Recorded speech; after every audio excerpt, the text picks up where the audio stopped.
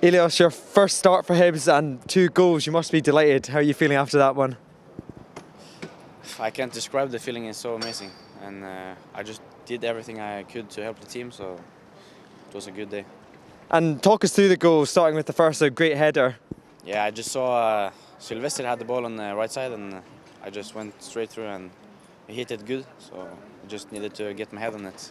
And then Sylvester involves again for the second one, a ball over the top. And when you were running through on goal, I don't think anybody thought you were going to miss.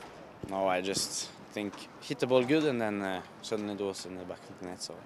And how was your initial feeling after you scored those goals? Obviously, you scored them both in front of the Hibs fans who were they were singing your name all game. Yeah, it was amazing. So couldn't get any better.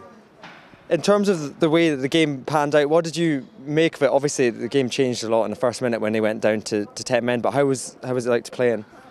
Oh, I felt we had the ball uh, a lot and uh, we played good.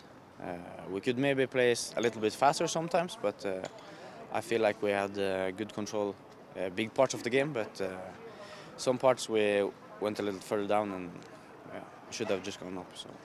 Uh, what is your message to the Hibs fans? They're obviously hearing their numbers, three and a half thousand of them. What would you like to say to them? Thank you so much. I appreciate the support you get us. And obviously, the win takes us into the, the semi finals of the Scottish Cup. How much are you looking forward to your first trip to Hampden Park? It's a big stadium, so I'm looking very forward to it. Definitely. Well, well done today. Congratulations.